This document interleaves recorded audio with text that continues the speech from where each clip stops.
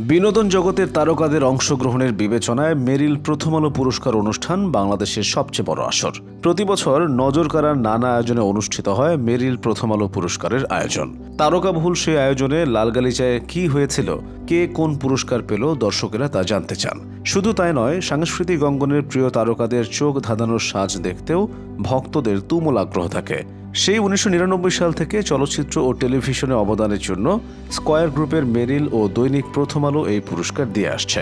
উনিশশো নিরানব্বই সালে অনুষ্ঠিত প্রথম আসরের উপস্থাপনা করেন আফজাল হোসেন ও সুবর্ণা মুস্তফা।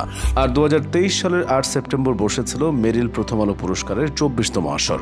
এদিন তারকাদের উপস্থিতিতে মুখর হয়ে উঠেছিল রাজধানীর বঙ্গবন্ধু আন্তর্জাতিক সম্মেলন কেন্দ্র।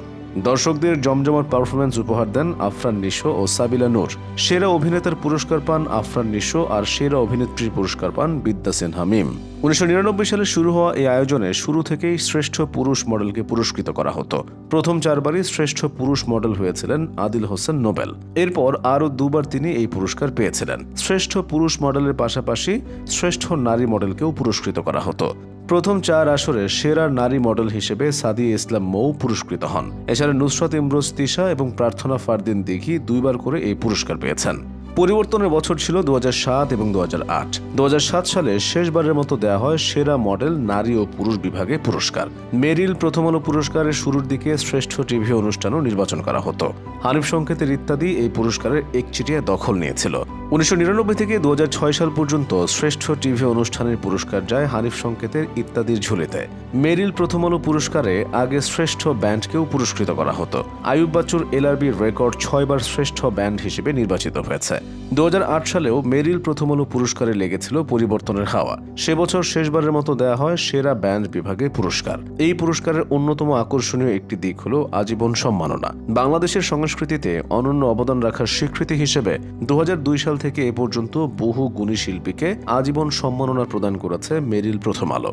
গত দুই যুগে মেরিল প্রথম আলো পুরস্কার অনুষ্ঠানের মঞ্চে উপস্থাপক হিসেবে হাজির হয়েছেন এক ঝাঁক নক্ষত্র। আফজাল হোসেন, সুবর্ণা মুস্তফা, হানিফ সংকেত, আনিসুল হক, চঞ্চল চৌধুরী, মোশারফ করিম, নুসরাত ইমরোজ, তিশা সহ আরও অনেক তারকার উপস্থাপনায় মেরিল প্রথম আলো পুরস্কার অনুষ্ঠান পূর্ণতা পেয়েছে। চারবার মেরিল প্রথম আলো পুরস্কার অনুষ্ঠানটি উপস্থাপনা করেন হানিফ সংকেত। উনিশশো নিরানব্বই দু এক দু তিন এবং দু হাজার পাঁচ এটাই উপস্থাপক হিসেবে সর্বাধিকবার মঞ্চে ফেরা। জুটি বেঁধে সবচেয়ে বেশিবার অনুষ্ঠান উপস্থাপনা করেছেন চঞ্চল চৌধুরী, মোশারফ করিম। তারা একাধিকবার জুটি বেঁধে মঞ্চে হাজির হয়েছেন। দু সালে অবশ্য অভিনেত্রী তিশাও তাদের সঙ্গে ছিলেন। করোনা মহামারীর কারণে দু ও দু সালে অনুষ্ঠানের আয়োজন করা হয়নি। স্কয়ার গ্রুপের মেরিল ও দেশের শীর্ষস্থানীয় দৈনিক প্রথম আলোর এই আয়োজন নিয়ে আলোচনার পাশাপাশি আছে বেশ সমালোচনাও। তবে এত বড় আয়োজন নিয়ে সমালোচনা থাকতেই পারে। চলচ্চিত্র খাতে যত বেশি পুরস্কার চালু হবে।